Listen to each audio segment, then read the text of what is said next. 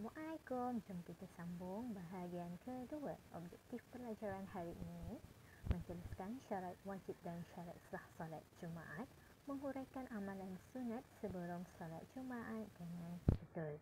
Ha, ingat tak lagi minggu lepas kita ada belajar sikit. Jadi kita akan sambung pada hari ini. Syarat-syarat sah didirikan di dalam binaan yang khusus seperti masjid bilangan jemaah yang cukup syarat tidak kurang daripada 40 orang termasuk imam daripada permulaan khutbah sehingga selesai solat Jumaat. Didirikan di dalam waktu zuhur. Tidak boleh didirikan dua solat Jumaat pada satu tempat. Didirikan secara berjemaah. Didahului dengan dua khutbah. Belum didirikan solat Jumaat di Korea yang sama sebelumnya. Apa pula syarat-syarat wajib? Islam Baligh Berakal Lelaki. Ha, Perempuan tidak diwajibkan ya. Sihat tubuh badan. Bermukim. Tidak wajib bagi yang bermusafir. Bermukim maksudnya tinggal di tempat merdeka.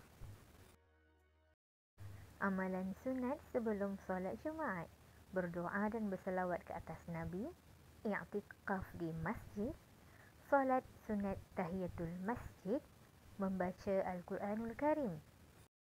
Mandi sunat Jumaat, memotong kuku, memakai pakaian yang elok dan bersih, memakai wangi-wangian, dan datang awal ke masjid. Ha, jom kita tengok hikmah solat Jumaat.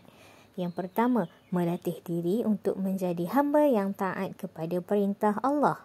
Kedua, merapatkan ukhuwah dan memupuk perasaan kasih sayang.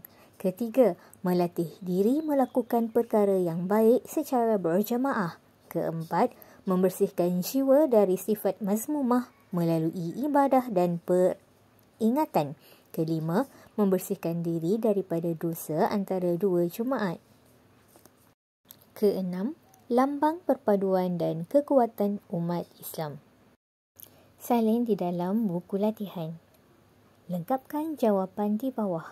Pertama, syarat sah solat Jumaat. Ha, senaraikan lima. Yang kedua, syarat wajib solat Jumaat. Juga senaraikan lima. Soalan seterusnya, lengkapkan peta item di bawah. Ada lima, senaraikan lima amalan sunat sebelum solat Jumaat. Selamat menjawab. Assalamualaikum.